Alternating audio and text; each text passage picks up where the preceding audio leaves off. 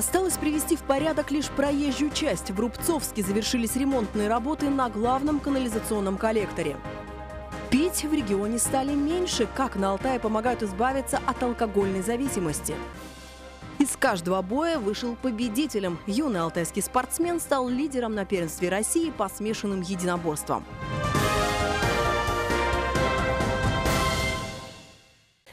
Вы смотрите наши новости в студии Елена Кузовкина. Здравствуйте. Завершились восстановительные работы на главном Рубцовском канализационном коллекторе по проспекту Ленина. Напомним, две недели назад в центре города произошло разрушение части коммуникаций. Подтопленными оказались несколько сотен многоквартирных домов, в том числе социальные учреждения. Спустя почти неделю специалисты водоканала заменили старую трубу на новую, более современную. На данный момент водоотведение уже восстановлено во всех домах. Коммунальщикам останется только привести в порядок проезжую часть, где велись ремонтные работы. Чтобы уложить свежий асфальт, придется дождаться стабильного потепления. Это заболевание не зависит от времени года. Уже 8 лабораторно подтвержденных случаев заражения корью зафиксировано на территории края. Эпидемиологи говорят, сейчас делают все, чтобы не допустить массового распространения болезни. И единственный верный способ – вакцинация населения.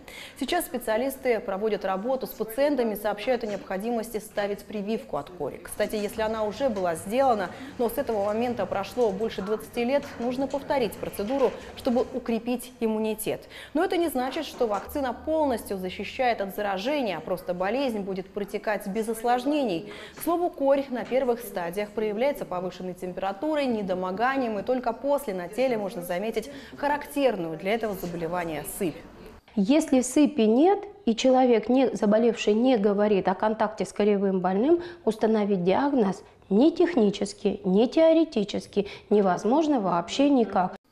Это тоже болезнь тяжелая, порой неизлечимая. 10 литров алкоголя в год приходится на каждого жителя Алтайского края. Это критическая отметка, отмечают медики. Тем не менее, за последние годы в регионе пить стали меньше, рассказывают специалисты Краевого наркологического диспансера. Во многом этому способствуют профилактические мероприятия и группы анонимных алкоголиков, где протягивают руку помощи каждому зависимому. Содружество анонимных алкоголиков «Феникс» существует уже уже почти 20 лет. Два раза в неделю здесь встречаются люди, которые в определенный момент жизни поняли, что имеют пагубное пристрастие к алкоголю. Каждый здесь рассказывает о своей проблеме, его слушают и помогают не сорваться. Десять лет назад в Содружество пришла и Татьяна. Девушка поняла, что алкоголь забирает у нее все самое дорогое. Люди думают, что алкоголь это антидепрессант. На самом деле это очень сильный депрессант в обратную сторону. То есть после употребления как бы все эти эмоции, боли, они накатывают просто с новой силой. Если бы я не встретила анонимных алкоголиков, вот 10 лет назад, возможно, судьба бы моя была печальна, потому что на самом деле алкоголь, он убивает. Как на Алтае помогают избавиться от алкогольной зависимости, почему вреден любой алкоголь, даже в минимальном количестве, расскажем в ближайшем выпуске наших новостей. Продолжим. Алтайский спортсмен стал победителем первенства России по смешанному боевому единоборству. Соревнования проходили в Мурманске. Участвовало более 20 сильнейших борцов. Победу в этом поединке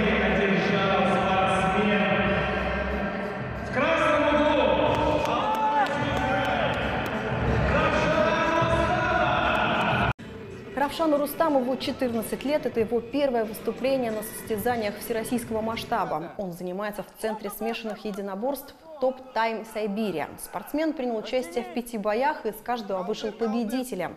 Вообще в спорте он всего два года. Тренер отзывается о нем как о талантливом и сильном бойце. Теперь Равшан будет представлять Россию на первенстве мира в Риме. Он вошел в состав сборной страны.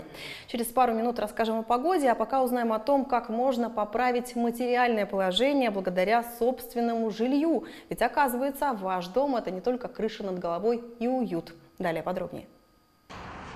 Сломался автомобиль или из-за больших процентов накопился долг по кредиту. Ситуации могут быть разные, но что делать, когда требуется внушительная сумма, например, с шестью нулями? В этом случае Банк Восточный предлагает решение – кредит под залог недвижимости. Кредит под залог недвижимости в Банке Восточный позволяет оформлять до 15 миллионов рублей наличными на длительный срок и по достаточно низкой ставке от 9,9% годовых. В итоге клиент получает удобный для себя платеж и решение своих финансовых вопросов. При этом вы будете по-прежнему жить в своей квартире и планировать дальнейшие приобретения, будь то отпуск, ремонт автомобиля или жилья. Практика показывает, у любой проблемы найдется решение, достаточно знать, где его искать. Иногда выходом может стать обращение в банк за нужным кредитом. И, наконец, о погоде. Спонсор прогноза – компания «Эвалар». Замените свой обычный чай на чай Эвалар Био из целебных трав Алтая. В чаях Эвалар Био вся природная сила Алтая для вашего здоровья. Спрашивайте в аптеках. На большей территории края пасмурно, в Бийске, Рубцовске, Алейске, Белокурихе до 4 выше 0. Чуть прохладнее в Зиминогорске и Тальменке до 2 тепла. В Барнауле в ночное время до минус 5, днем малооблачно и до плюс 4.